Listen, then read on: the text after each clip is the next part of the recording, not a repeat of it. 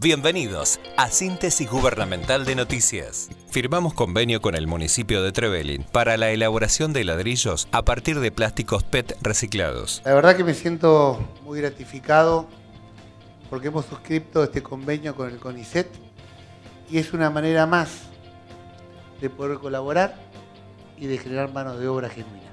Lo que yo quiero decir que no nos detenemos bajo ningún punto de vista y siempre vamos a apuntar a la tecnología y al desarrollo social.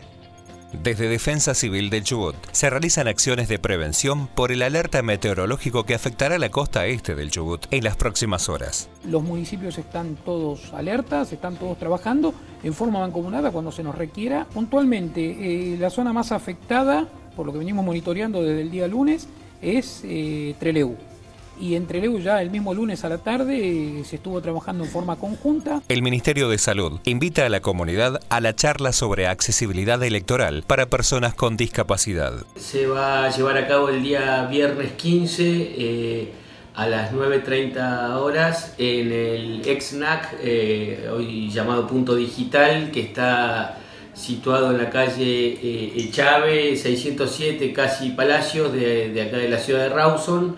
La intención eh, fundamentalmente es esta, eh, generar eh, las herramientas para que puedan tener una participación plena y efectiva en, los comicios, en el acto eleccionario. El Ministerio de Familia confirmó que ya se realizó el depósito de los fondos correspondientes a la tarjeta social y a las becas de capacitación. Ya están hechos los aportes finales del mes de marzo.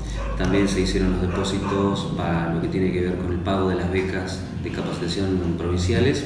En un principio estas becas de capacitación eh, se usaron para cubrir vacantes de lugares donde hacía falta personal y hoy estamos transformando esas becas como deben ser en programas de capacitación en distintos rubros. Esto fue Síntesis Gubernamental de Noticias. Búscanos en nuestras redes sociales o ingresa a nuestro sitio web www.chubut.gov.ar.